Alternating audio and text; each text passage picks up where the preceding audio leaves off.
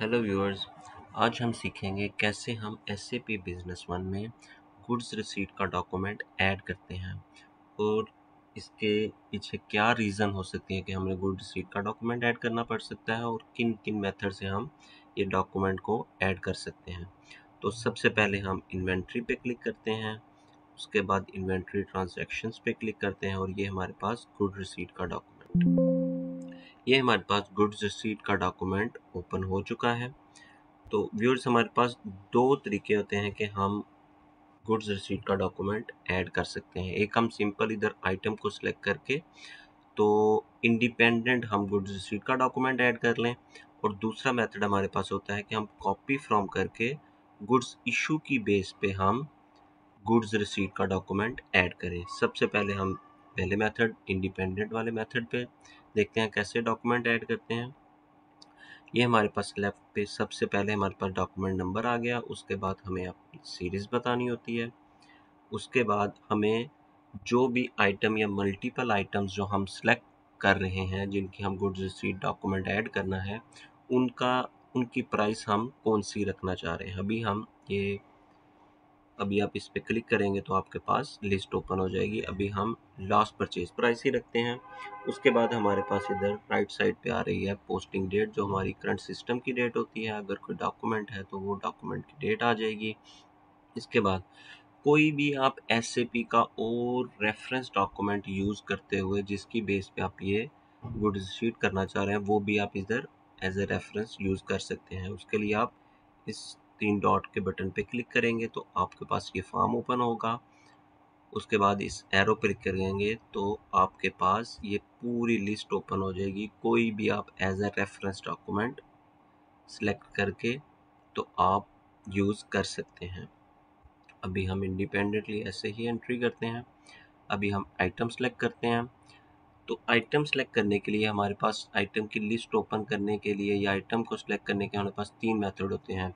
या तो हम इस फ़ील्ड पे रख के टैब का बटन प्रेस करें तो हमारे पास ये आइटम की लिस्ट ओपन होगी और हम इधर इजीली आइटम को सिलेक्ट कर लेंगे। दूसरा मेथड हमारे पास होता है कि हम इस बटन पे क्लिक करेंगे तो हमारे पास फिर भी ये लिस्ट ओपन हो जाएगी।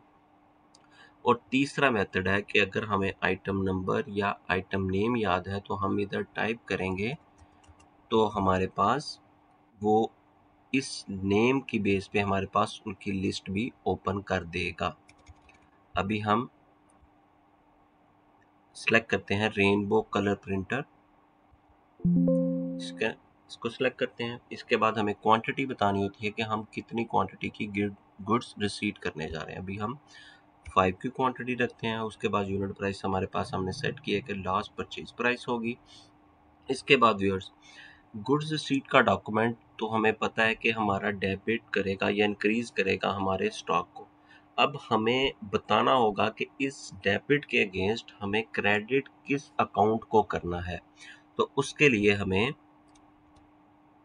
इधर से अकाउंट कोड में इस बटन पे क्लिक करेंगे।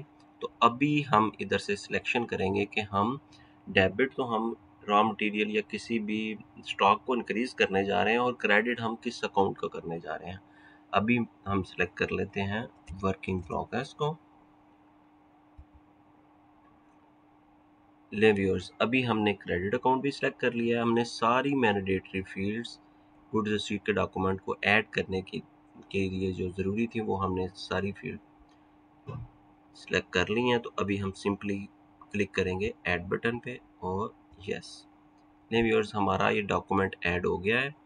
तो अभी हम लॉस्ट रिकॉर्ड करते हैं और इसकी जर्नल एंट्री चेक करते हैं।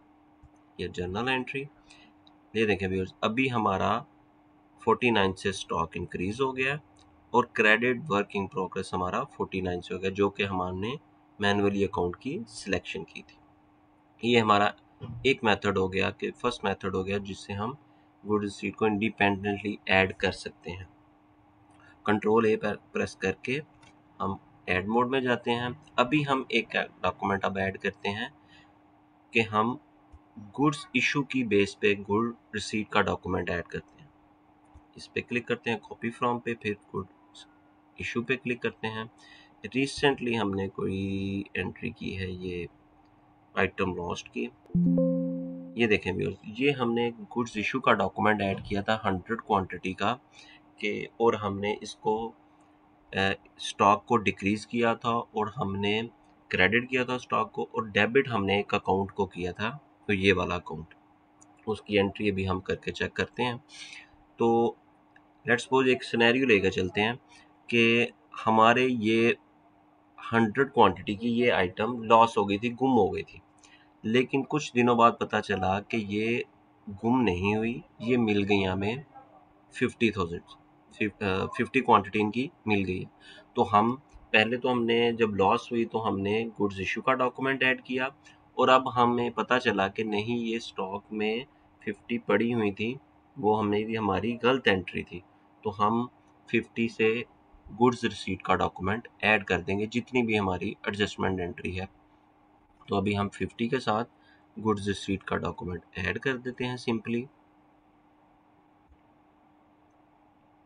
यस व्यूअर्स अभी हमारा ये डॉक्यूमेंट भी ऐड हो गया है। इसकी जनरल एंट्री चेक करते हैं। राइट क्लिक करते हैं जनरल एंट्री ले व्यूअर्स देखिए रॉ मटेरियल को 25,000 से डेबिट कर दिया और हमारा क्रेडिट हो गया है जो कि हमारा गुड्स इशू पे डेबिट हुआ होगा। तो ये उसकी एडजस्टमेंट एंट्री होगी